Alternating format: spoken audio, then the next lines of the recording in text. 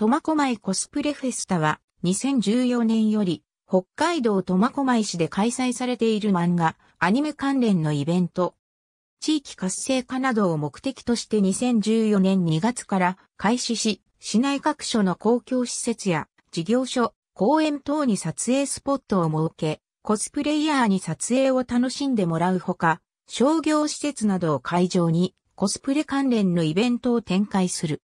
2019年の時点で来場者の内訳は、男女比が男性40%、女性60%、地域別では、苫小牧市内16%、北海道内80%、北海道が4%で、市街者が8割以上となり、宿泊者延べ3100名、経済効果約5250万円と試算されている。中心部を中心に展開され、郊外のコスプレロケーションへ向かう臨時のアクセスバスも運行される。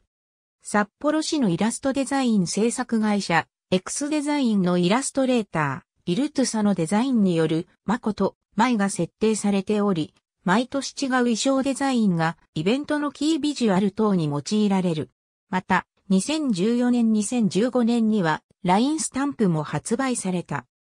二人は神様の役所から派遣された苫小牧地区の愛と平和を守る新米役人として、普段は宇都内女子高校の学生として暮らしながら、人間には見えない六次元の異世界から苫小牧を狙うあるの組織、ブラックとマチョップから苫小牧のパワーバランスの均等化を保つ役割のトマチョップを守る存在となっている。詳細情報日程特記のない場合は、両日使用。詳細情報日程特記のない場合は、両日使用。日程特記のない場合は、両日開催。詳細情報詳細情報詳細情報詳細。情報新型コロナウイルスに伴い規模を縮小。撮影スポットの削減や人数制限を取り、事前申し込み制やオンラインイベントの導入を行った上で開催。ありがとうございます。